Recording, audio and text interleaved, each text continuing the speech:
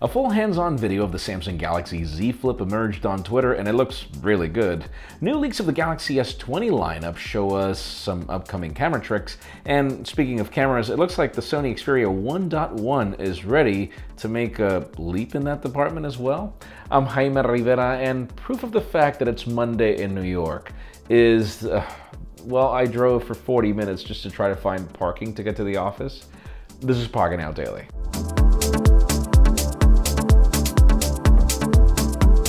The official news today begin, as always, with deals, particularly with Android products. We have some options on Amazon, like for example the LG G8 ThinQ, which is still available for $500 for the 128 gigabyte variant, which is a pretty solid discount considering its original price. The Google Pixel 3a is still $70 off, leaving it for $330 for the 64 gig variant.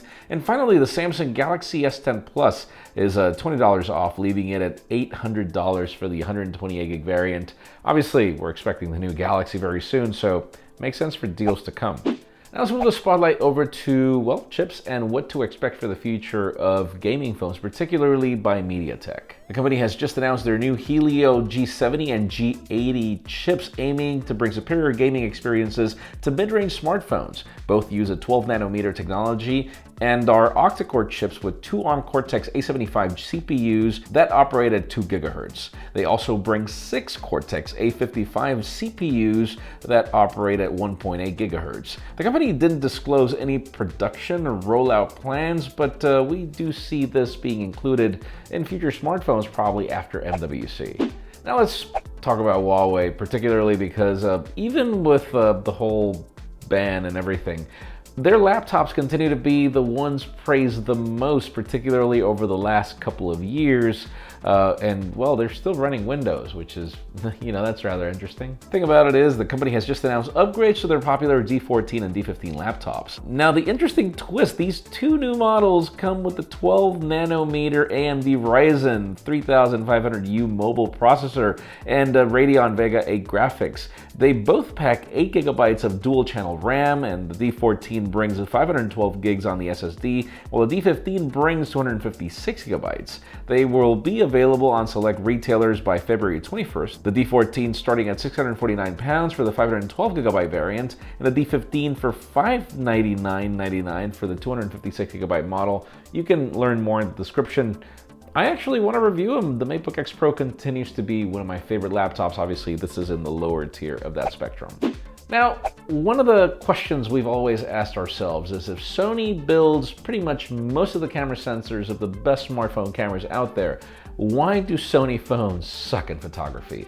But apparently that's going to get fixed. We've got some more leaks of the now dubbed Sony Xperia 1.1, uh, which we're expecting at MWC. We've already seen video renders of the design, but now we get details on the cameras. It will apparently bring a 12 megapixel main sensor, a 12 megapixel ultra wide angle lens, a 64 megapixel sensor, which we don't have more details on, and apparently a 2 megapixel time of flight sensor, and the periscopic lens with OIS. The phone is also expected to bring the Qualcomm Snapdragon 865 in addition to a tall display.